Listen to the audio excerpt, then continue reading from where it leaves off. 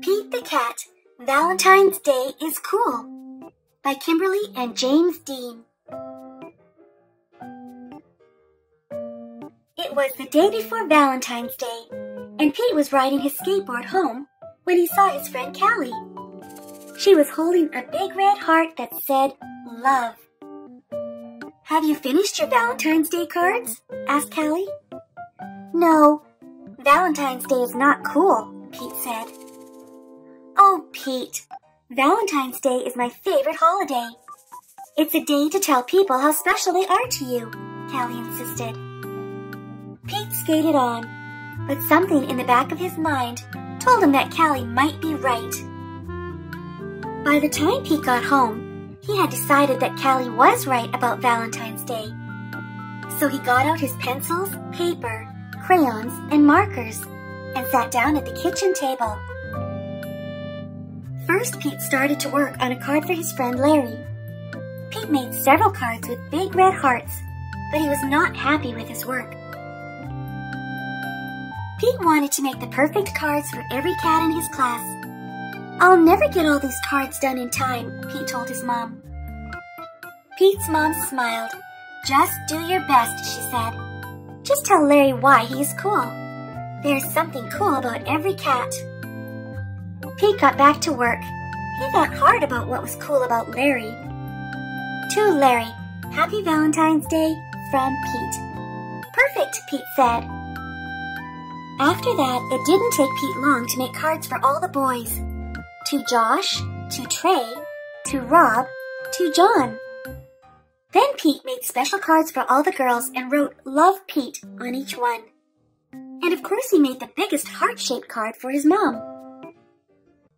The next day, Pete and Callie waited for the bus together. I decided you were right. Valentine's Day is cool. That's awesome, Callie said.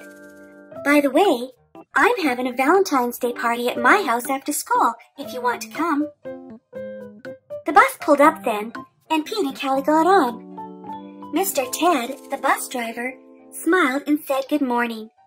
But as soon as they were in their seats, Pete put his head in his paws. What's wrong? Callie asked. I forgot to make a card for Mr. Ted, he cried. Then Pete thought, but I can make him an awesome card before we get to school. Pete pulled out a piece of paper and colored pencils from his backpack. He began to draw. Happy Valentine's Day! Thanks for picking us up every day for school, Pete and Callie said as they handed Mr. Ted his valentine. Thank you, Mr. Ted told them. You just made my day. What about Mrs. Gold, the crossing guard?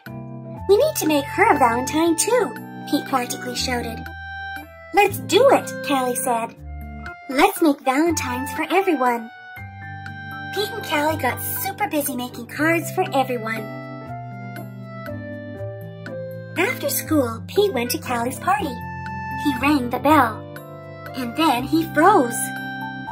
Callie opened the door only to find her friend in a panic. What's wrong, Pete? I forgot something very important, Pete admitted. What? Callie asked. I just realized I forgot to make a card for you, Pete said. That's okay, Pete. Cards are just a way of showing you care. Hanging out with you, that's way better than any card. This is the best Valentine's Day ever. And happy Valentine's Day to you. Love, Pete. Please like this video and subscribe to my channel.